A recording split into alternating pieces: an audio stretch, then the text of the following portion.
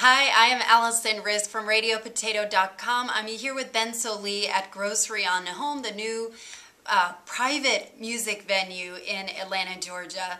And uh, so, Grocery on Home is a really a residence. It's a living room that probably holds about 40 people. It's a very intimate experience. So, tell me, what is it like the first 10 seconds before you go on stage? What's going through your head? And by stage, I mean by the front door. Yeah, well, right now we're by the front door. Sometimes we're on a very small stage in here. Um, but first thing that you notice is there's no fourth wall. There's no element of surprise in the grocery. You just kind of walk on from the crowd and and begin to tell your stories. And because of that, it encourages you to be a lot more honest.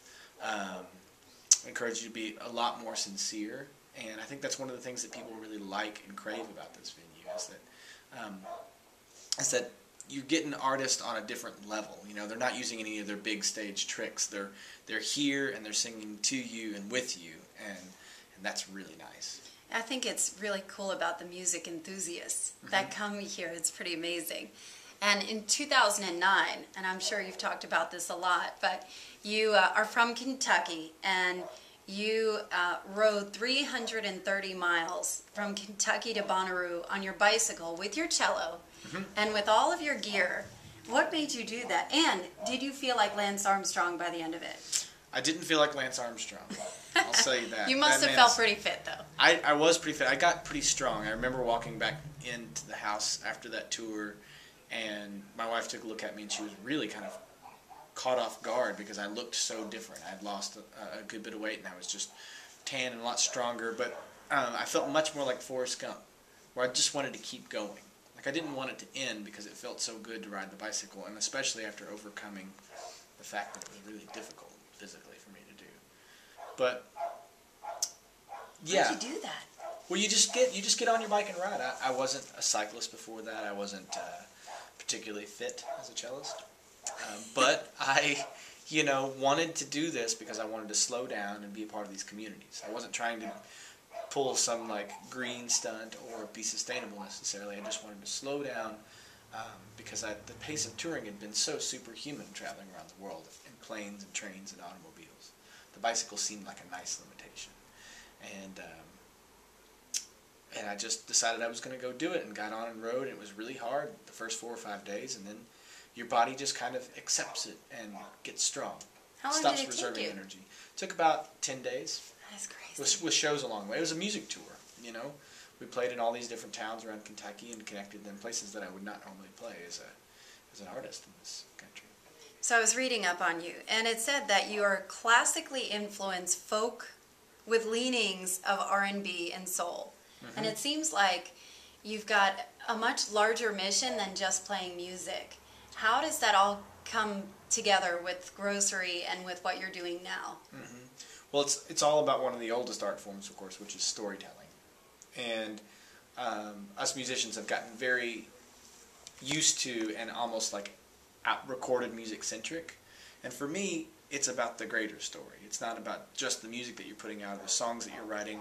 It's about advocacy. It's about the things that you care about in your community, whether that's livability infrastructure or protecting um, you know, your cultural heritage in the mountains of Appalachia. Like all those things are important to me, and I try to tell that as a, as a holistic story as an artist by doing bike tours, by doing albums to raise awareness about things, doing just simple fundraisers. Um, try to be community oriented. That's awesome. Yeah. That's so cool. So when you write, do you consider yourself a cellist, a singer, or a songwriter first? How does music come to you? Um, I think again, more than anything, I'm trying to tell a story. So that's what I would consider myself first, and I try to use whatever instrument and sound uh, tells the story best. A lot of times that's the cello because it's such a versatile instrument. But sometimes it'll be guitar, sometimes it'll be just percussion, uh, sometimes it'll be piano or harp, as the case may be. You know, you just whatever moves that story along. So I saw um, Amos Lee, and I saw this video of him, and he was um, performing at the White House. Mm-hmm. And there was this man right in the front, and he was losing his mind, crying mm-hmm. when he was singing. I mean, just losing it. And you've got a very, um, you've got a melancholy tone to your voice. It's very crystal clear, but it's it's got a lot of soul and depth. What is it like for a musician when somebody is freaking out over whether it's the sound of your voice or if they're crying or reacting that way? It's got to be cool in one way, but you know, if somebody's really losing their mind, Yeah. how do you keep performing, or what is what is it like for you?